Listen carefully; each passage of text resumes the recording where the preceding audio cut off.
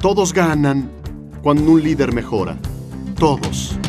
Quiero ser absolutamente el mejor líder que pueda ser. Quiero ser el líder más semejante a Cristo. Orientado al servicio, humilde y valiente que pueda ser. Una organización no es realmente excelente, sino puede ser excelente sin ti. Además de ser inteligentes, si queremos el máximo potencial de nuestra organización, también debemos asegurarnos que estén sanas. Cada vida es valiosa, no solo porque todos somos iguales frente a la ley, sino porque somos iguales ante Dios. Pero la verdadera prueba de la fe es cuando uno se enfrenta a algo por lo que solamente su fe le hará seguir creyendo en Dios. No deleguemos tareas porque creamos seguidores, sino que en lugar de ello, deleguemos autoridad porque entonces creamos líderes.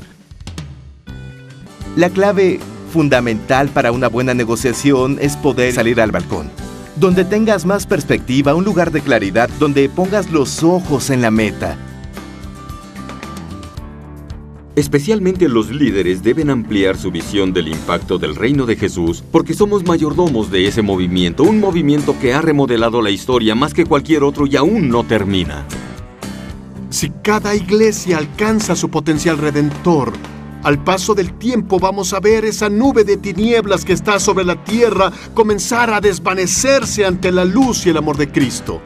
Y espero que ustedes comprendan que uno de los más grandes privilegios en toda la vida es cuando Jesús te toca y te dice, Felipe, Roberto, Juan, María, Melinda, tengo para ti un papel importante